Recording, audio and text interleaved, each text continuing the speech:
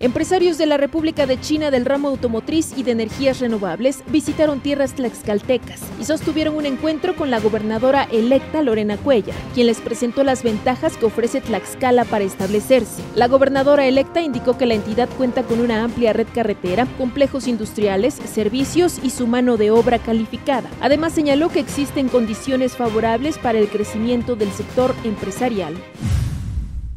Cerca de 50 trabajadores del ayuntamiento de Ixtacuixtla se manifestaron en contra de los supuestos desvíos de recursos realizados por el alcalde Rafael Zambrano. Indicaron que debido a esta situación dejarían sin pago retroactivo a los empleados afiliados al sindicato 7 de mayo, por lo que amenazaron con cerrar todas las calles con rumbo a la cabecera municipal.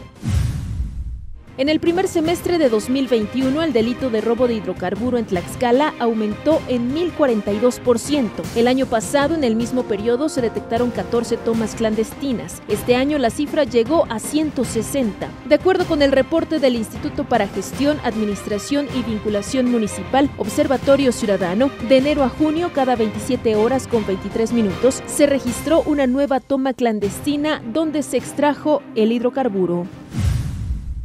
La Secretaría de Salud del Estado invita a los hombres tlaxcaltecas a participar en la jornada intensiva de vasectomía sin bisturí que se realizará este 28 de agosto en los centros de salud urbanos de Tlaxcala y Apizaco. La dependencia indicó que con estas acciones se busca fomentar una paternidad responsable e involucrar a los hombres en las decisiones de planificación familiar. Montserrat Navedo, Noti 13.